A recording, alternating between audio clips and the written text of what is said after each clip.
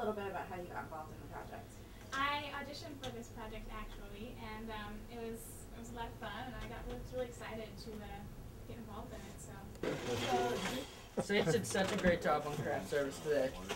Sage Good craft job on service. Yay! Yay! Yes, Sage. Oh, quiet. Yes. she fell asleep. She worked too hard today. Okay, that's a wrap. Big. That's a wrap, guys. Much.